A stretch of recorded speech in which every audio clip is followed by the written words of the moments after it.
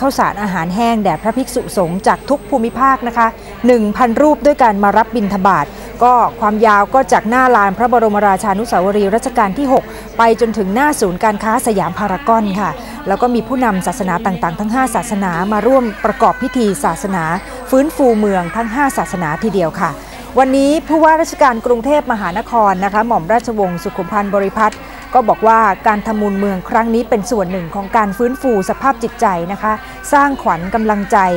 แก่ประชาชนเพื่อความเป็นสิริมงคลตามคติความเชื่อของคนไทย แล้วก็เป็นการเริ่มต้นสร้างความสมานฉันท์ในสังคมต่อไปด้วยนะคะนี่ก็จะเป็นส่วนหนึ่งในเรื่องของการฟื้นฟูสภาพจิตใจนะคะขณะเดียวกันสัปดาห์นี้เป็นสัปดาห์พระพุทธศาสนาค่ะ รัฐมนตรีว่าการกระทรวงวัฒนธรรมนะคะคุณธีระสลักเพชรพร้อมกับนายสด